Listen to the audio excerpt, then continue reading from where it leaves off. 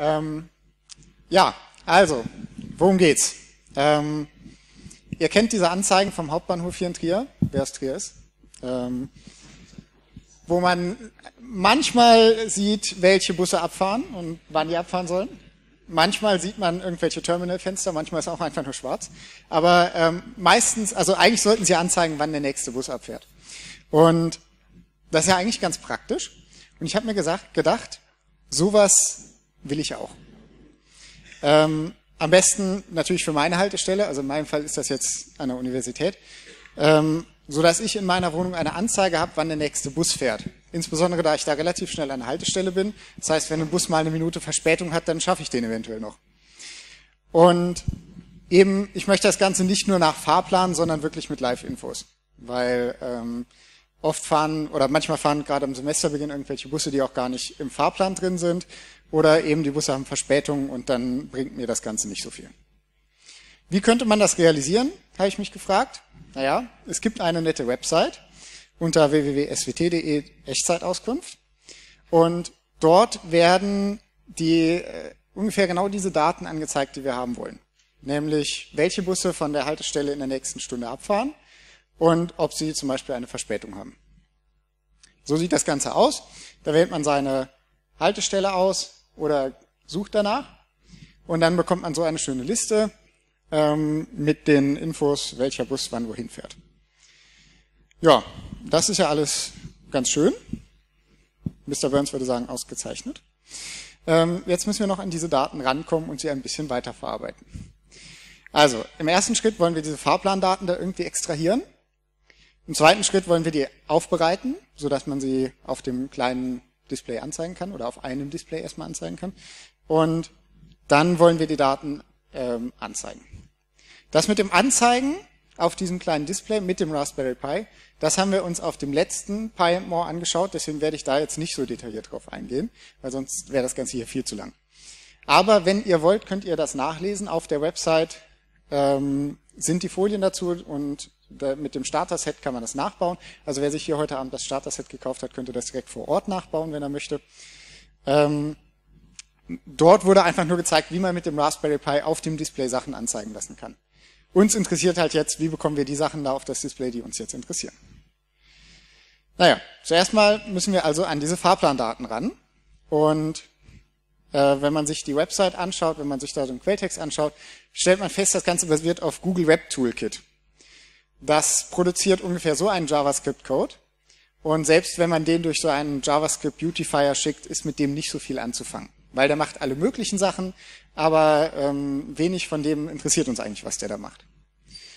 Das heißt, das nächste, was man sich dann anschauen kann, ist der Netzwerkverkehr. Einfach mal Browser-Debugging-Tools aufmachen. Was sendet der Browser an den Webserver von SWT und was bekommt er dann zurück?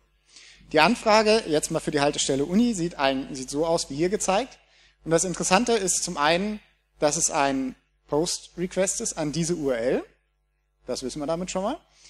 Da ist ein äh, spezieller Content-Type gesetzt. Und hier unten sind noch so Informationen fürs Google Web Toolkit.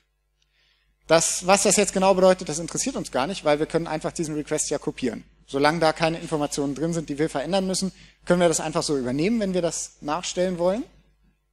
Und hier unten sieht man da noch, dass auch noch der da eine Kennung mitgeschickt wird für die Haltestelle. Die findet man auf der Website raus, die wird in der URL angezeigt, wenn man die Haltestelle ausgewählt hat. Das heißt, jetzt haben wir eigentlich alles, was wir brauchen, um den Webserver von denen zu fragen, nenn mir doch mal die Busse für die nächste Stunde, äh, die an der Haltestelle Uni abfahren. Wenn man das macht, also da kann man sich zum Beispiel so ein kleines Python-Programm schreiben, ähm, das sendet genau diesen, diese Anfrage ab, genau wie der Browser es eben gemacht hat. Dann bekommt man eine Antwort, die sieht aus wie diese. Da sieht man dann auch erstmal relativ wenig drin. Und die muss man sich jetzt mal genauer anschauen. Irgendwo müssen da ja die Informationen drinstecken, die uns interessieren. Und das habe ich mal gemacht. Und das Erste, was auffällt, ist, am Anfang steht da irgendwie so okay, das kann man mal weglassen. Und dann, also ich meine, wenn es nicht okay ist, dann ist es halt nicht okay, aber ähm, und dann haben wir hier so eine Struktur, ich habe die mal blau markiert, die wiederholt sich immer. Also die taucht da dann noch auf und hier taucht sie auf. Also irgendwie sind das natürlich schon strukturierte Daten. Wenn man das ein bisschen umformatiert, dann sieht das dann so aus. Ich habe jetzt mal ein paar Zeilenumbrüche eingefügt. Wir sind jetzt noch nicht viel schlauer geworden hier draus, aber wir sehen schon mal, dass da irgendwie immer so eine Zeile folgt mit mehreren Daten und dann ganz am Ende kommt noch so eine Zusammenfassung von irgendwelchen Strings. Die können wir auch mal ausklappen. Und da sieht man natürlich, dass das Ganze hier irgendwie auf einem Java Webserver basiert. Da sieht man irgendwie so Sachen wie Java, irgendwas Java Util Date. Ähm, und jetzt muss man noch rausfinden, was man mit den Informationen macht. Offensichtlich sind ja diese ersten Zeilen, die sich da wiederholen, irgendwie die Busse. Also die einzelnen Abfahrten, klar. Und unten drunter sind irgendwelche Informationen, die wohl für alles oben dienen, um das zu dekodieren.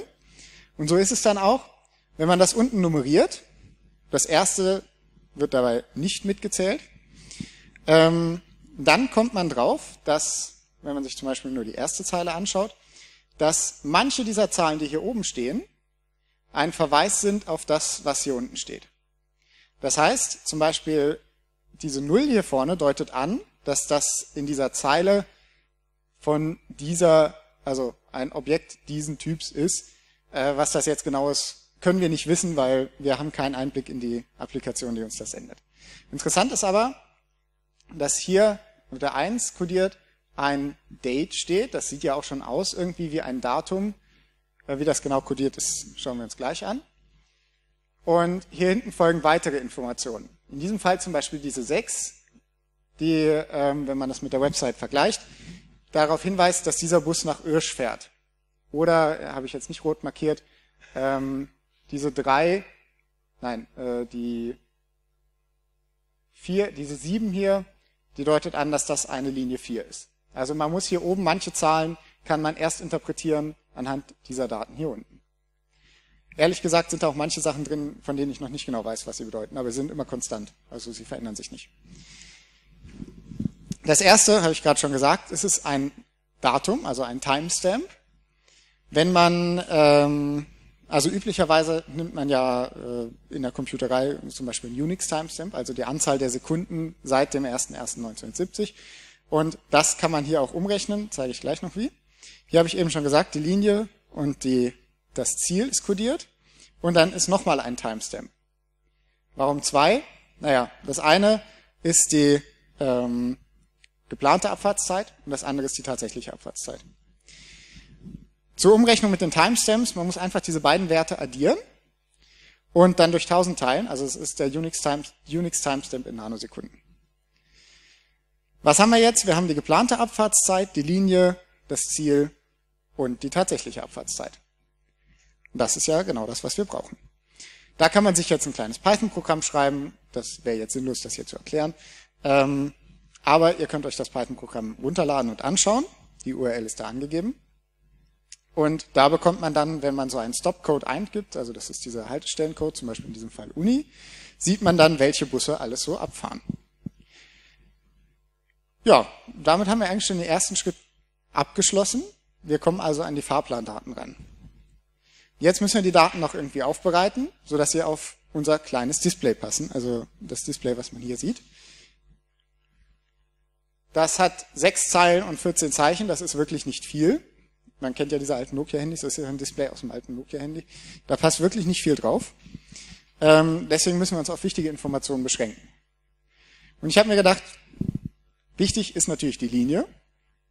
Ziel auch, kann man aber abkürzen. Ähm, die Minuten bis zur Abfahrt, damit ich weiß, ob ich noch rennen muss oder nicht. Und die Verspätung, die Verfrühung oder ob das Ganze pünktlich ist. Das Wort Verfrühung gibt's wirklich. Ähm, ich, also ich habe eigentlich danach gesucht, wie, man, wie der richtige Begriff statt Verfrühung ist, aber es gibt wirklich Verfrühung. Also ja, Wichtig, äh, interessant ist übrigens auch die Beschreibung, dass sich verfrühen. Aber gut. Wir wollen die Daten aufbereiten oder anzeigen lassen. Was kann man weglassen? Was uns, äh, also das Ziel habe ich eben schon gesagt, kann man, kann man abkürzen. Wenn die Linie zum vorangegangenen Bus gleich ist, also wenn ich zum Beispiel ganz auf die Linie 3 habe, dann kann ich es auch weglassen, dann spare ich einmal ein Zeichen vorne. Ähm, und jetzt, wenn man sich das mal anschaut, zum Beispiel diese Daten würde ich auf dem Display so codieren. Also das sind die Linien und hier kommen nur noch Dreierbusse, deswegen lasse ich das dann weg. Dann das Ziel wird einfach so weit gequetscht, bis alle Daten auf das Display passen, weil meistens weiß man, was gemeint ist. Ähm, es gibt da selten irgendwelche Unterschiede, die sich in den letzten Zeichen irgendwie ausdrücken. Dann mache ich noch ein Zeichen dahin für Verspätung oder Verfrühung. Wenn nichts da ist, dann ist es halt pünktlich. Ähm, plus heißt halt eben Verspätung und Verfrühung minus. Tatsächlich fahren öfters mal Busse früher ab. Also das merkt man, wenn man das Programm öfters ausführt. Ähm, man glaubt es ja nicht, aber es ist tatsächlich so. Das passiert also. Und dann hier hinten noch die Minuten bis zur Abfahrt. Und ich habe alle negativen Werte. Also wenn zum Beispiel steht, dass noch minus eine Minute bis zur Abfahrt ist, habe ich einfach äh, inklusive der Null durch ein Sternchen ersetzt. Minus eine Minute bis zur Abfahrt würde heißen, dass der Bus eigentlich hätte abgefahren sein sollen, laut der Information im Fahrplan, also in dem Live-Fahrplan, aber noch nicht abgefahren ist. Ähm, auch das kommt öfters vor. Deswegen einfach Sternchen, weil das bringt mir nichts, also das ist keine sinnvolle Information. Sternchen heißt so viel wie, selbst wenn du rennst, schaffst du den Bus nicht mehr. Und insgesamt sieht das dann so aus.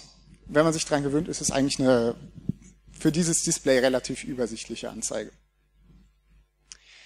Ja, und ähm, damit haben wir auch die Daten aufbereitet. Jetzt müssen wir sie nur noch anzeigen.